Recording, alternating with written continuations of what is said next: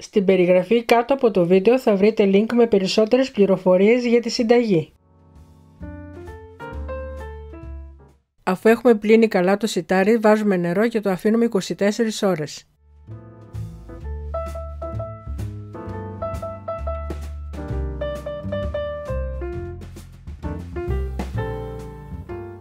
Την επόμενη μέρα το σουρώνουμε.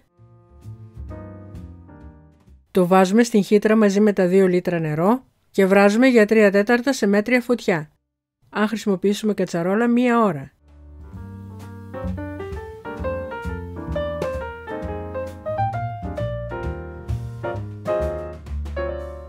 Όταν είναι έτοιμο προσθέτουμε την ζάχαρη, την κανέλα, το γαρίφαλο και ανακατεύουμε.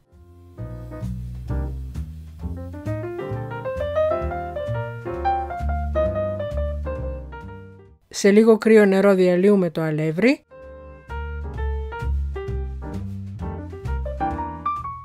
Το ρίχνουμε στο μείγμα και ανακατεύουμε σε μέτρια φωτιά μέχρι να χυλώσει. Κατεβάζουμε από την φωτιά και προσθέτουμε τα αποξηραμένα φρούτα.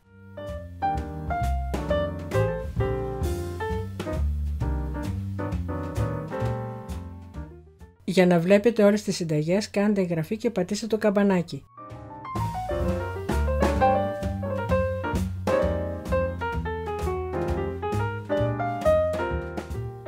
Όσο είναι ζεστό το μοιράζουμε σε μπολάκια.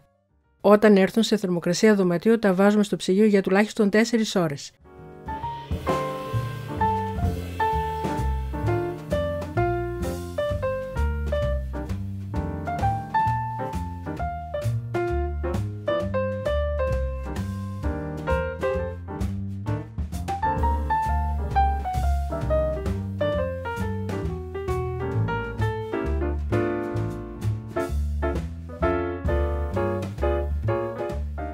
Αν σας άρεσε το βίντεο κάντε ένα like και αφήστε το σχόλιο σας.